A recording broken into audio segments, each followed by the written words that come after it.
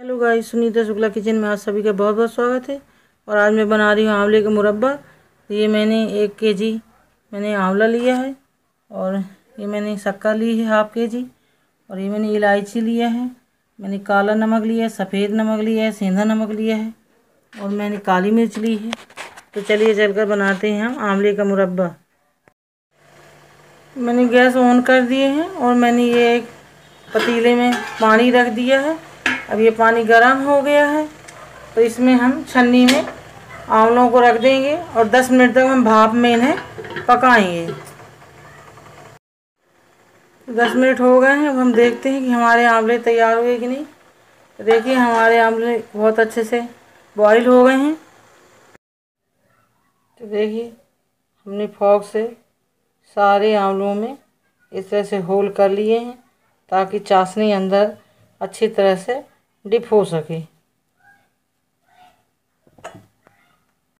Gas हमने on कर दिए हैं और मैंने एक कढ़ाई में अब ये मैं दो गिलास पानी ले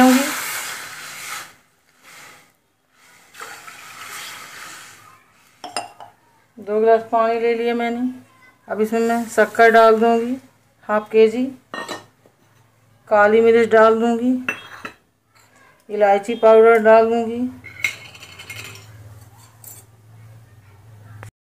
एक चम्मच हम काला नमक डाल देंगे। एक चम्मच हम सफ़ेद नमक डाल देंगे। एक चम्मच हम सेंधा नमक डाल देंगे। मैंने थोड़ा सा हाफ़ पिंच जलेबी कलर ले लिया है।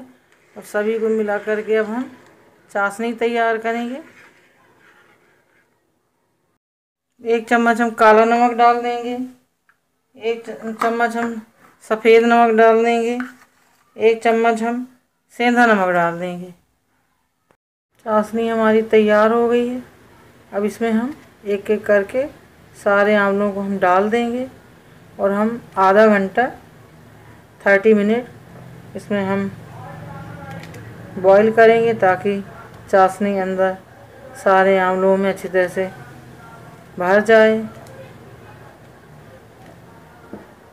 तो सारे आंवलों को हम इस तरह से डिप कर देंगे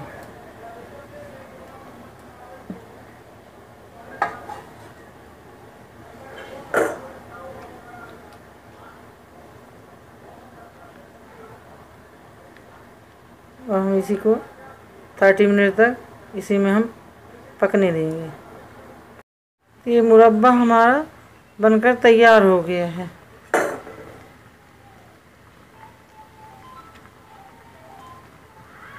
तो लीजिए गैस बनकर तैयार है। हमारा बहुत ही टेस्टी बहुत ही लाजवाब आमले का मुरब्बा।